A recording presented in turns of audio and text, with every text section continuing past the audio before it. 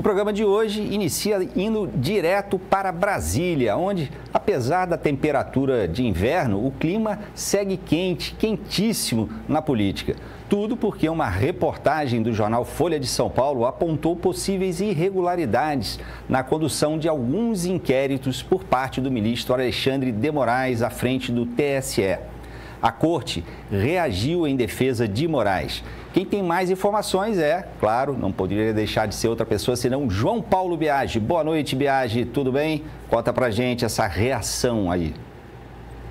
Oi, Tardan, muito boa noite a você, a todos que nos acompanham. Reação feita durante a sessão lá do Supremo Tribunal Federal nesta quarta-feira. O ministro o presidente da casa, Luiz Roberto Barroso, puxou esse assunto logo no início da sessão e convidou Alexandre de Moraes, o ministro que é acusado pelo jornal Folha de São Paulo de ferir o rito do Tribunal Superior Eleitoral para perseguir bolsonaristas, a se pronunciar. Alexandre de Moraes se defendeu, disse que seria esquizofrênico um ato de se auto-oficiar e disse ainda que, como era ministro do STF e presidente do TSE, tinha poder de polícia para poder pedir a realização desses relatórios. O vídeo é um pouco longo, mas a gente vai conferir agora essa defesa de Alexandre de Moraes. Vamos acompanhar.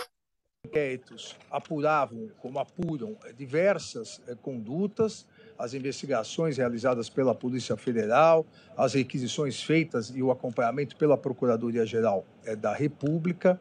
E no curso desses inquéritos e das petições em anexo, outras investigações conexas a esses inquéritos, várias vezes é, surgia é que aqueles investigados estavam reiterando as condutas ilícitas realizadas nas redes sociais.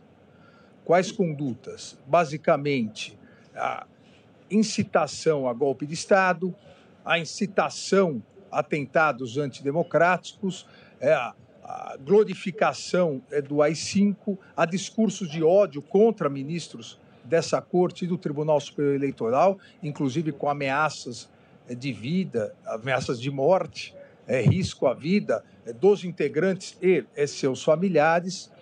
E nós sabemos que há a necessidade que faltou, até faltou pela novidade nas eleições de 2018, naquele momento, é, a necessidade de preservação desse conteúdo, porque senão eles são apagados e não podem ser recuperados. Isso é um procedimento normal, é, investigativo.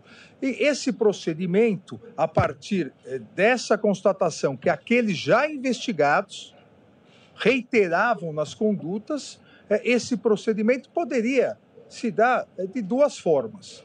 Poderia se dar a partir é, de uma requisição minha à Polícia Federal, para que ela realizasse, poderia se dar a partir de uma solicitação ao Tribunal Superior Eleitoral para que ele fornecesse os relatórios. Como foi muito bem salientado, informações objetivas e públicas, o que estava postado é, publicamente, para se evitar exatamente que depois fossem é, apagados.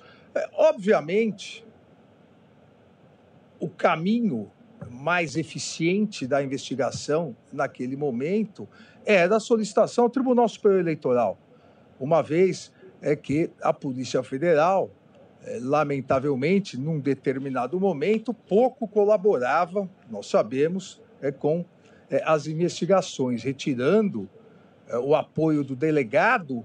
O delegado que atuava nos inquéritos chegou a ficar com um único agente policial para poder realizar todas as diligências. E, obviamente, foi dito, é, seria esquizofrênico eu, como presidente do Tribunal Superior Eleitoral, me auto-oficiar. Até porque, como presidente do Tribunal Superior Eleitoral, no exercício do poder de polícia, eu tenho, é, eu tinha é, o poder pela lei de determinar a feitura dos relatórios.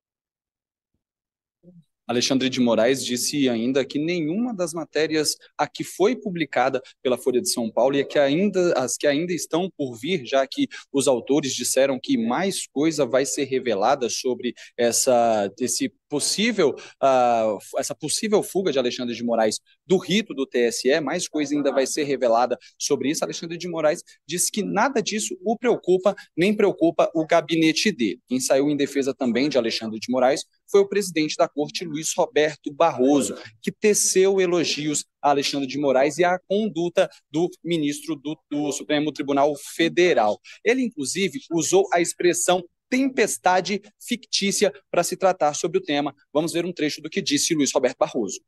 Vivíamos uma conjuntura tensa e de gravíssimas ameaças à democracia, às instituições e às pessoas.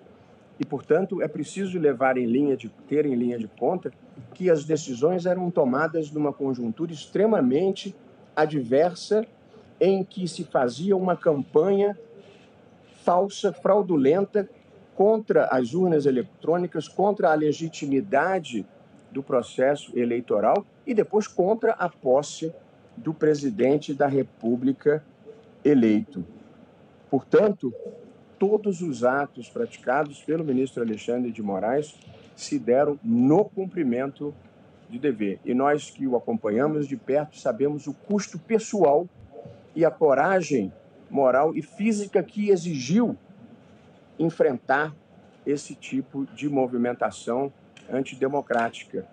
E o risco pessoal, quando nós aceitamos estar aqui, ainda é tolerável, mas pior é o risco para a família, para a esposa, para os filhos, as ameaças, de modo que ninguém imagina a tensão, o desconforto e o tipo de coragem que é preciso ter para se opor a, ao extremismo de uma maneira geral. Venha de onde vier, com a sua intolerância, com as suas ameaças, com a tentativa de intimidar. E, portanto, parte da reação que nós enfrentamos é porque não nos deixamos intimidar. Também prestaram apoio e solidariedade ao ministro Alexandre de Moraes os ministros Flávio Dino e Gilmar Mendes, que é o decano da casa, ou seja, o ministro mais antigo do Supremo Tribunal Federal. Paulo Goné Branco, procurador-geral da República, também defendeu o ministro Alexandre de Moraes. Ou seja, a cúpula do judiciário está do lado de Alexandre de Moraes, nesse caso revelado pela Folha de São Paulo. Tardan.